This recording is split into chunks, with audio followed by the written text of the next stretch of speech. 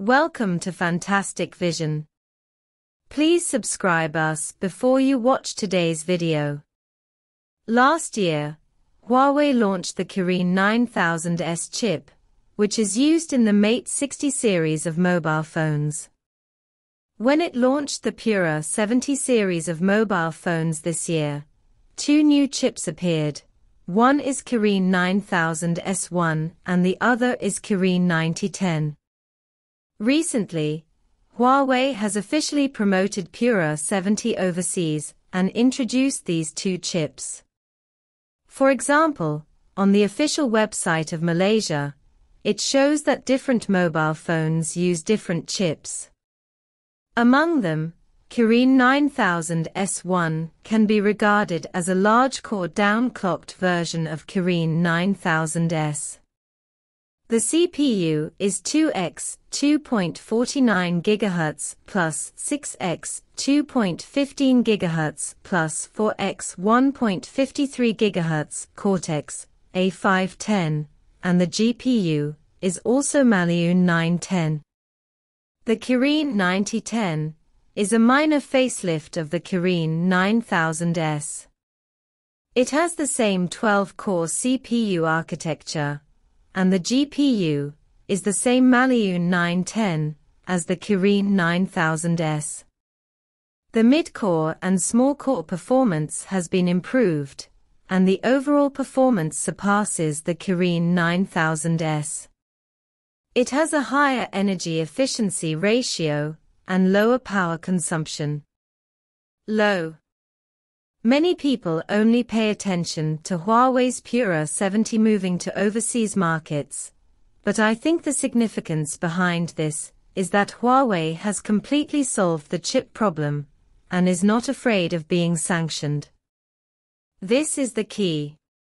China knows that the United States previously suppressed Huawei and did not allow manufacturers, such as TSMC, to manufacture chips for Huawei unless they did not contain American technology equipment.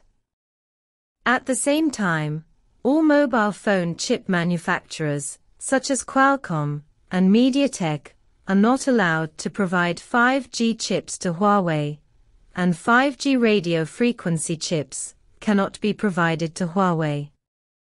Therefore, Huawei's Kirin chip has become the last song and cannot be OEMed. Later, the only products Huawei could buy from Qualcomm were castrated versions of 4G chips. Under such circumstances, Huawei mobile phones slowly shrank overseas markets and were basically only sold domestically.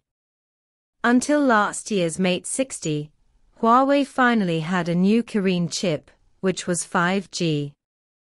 It also solved problems such as 5G radio frequency chips and relaunched 5G mobile phones. But last year, it was obvious that the supply chain could not keep up and mobile phones were hard to come by. At the same time, it was said that chip production capacity was not large enough to meet Huawei's needs. So Mate 60 was not sold in large quantities overseas. However, this kind of Pura 70 is not only sold in China, but also pre-sold in Malaysia and other Southeast Asian countries, as well as in Europe and other countries. This means that Huawei's supply chain problem has been solved, and the chip problem has also been completely solved. This supply chain problem includes chip foundry issues, 5G radio frequency chips, 5G baseband chips, etc. Only by solving these problems can Huawei sell overseas without fear of being suppressed. Last year, the Mate 60 equipped with the new Kirin chip was launched, marking a major breakthrough for Huawei in the fields of 5G radio frequency chips and other fields. Today, the release of Pura 70 further confirms Huawei's comprehensive solution to chip issues. Pura 70's overseas market journey is not just a business expansion, the meaning behind it goes far beyond the product itself. This move shows the world that Huawei has achieved comprehensive victory on supply chain issues. From chip foundry problems, 5G radio frequency chips, 5G baseband chips and a series of challenges, Huawei has provided convincing solutions, demonstrating its strong strength to once again compete with the international market. What's even more exciting is that the disassembly report of Pura 70 reveals the astonishing degree of its localization rate. In addition to the main camera using Sony components, almost all components including the core processor, panel, chassis, battery, lens, heat dissipation, acoustic components, etc. have been domestically produced. This achievement not only demonstrates Huawei's own strength, but also symbolizes the rise of China's entire industrial chain. Western manufacturers, which once had a solid market position and huge orders, are now facing unprecedented challenges. Faced with Huawei's strong return, the global market is paying attention to one question when will Huawei return to the top three in the global mobile phone market? Or even become the leader? The answer to this question may be hidden in Huawei's continuous efforts to promote technological innovation and supply chain autonomy.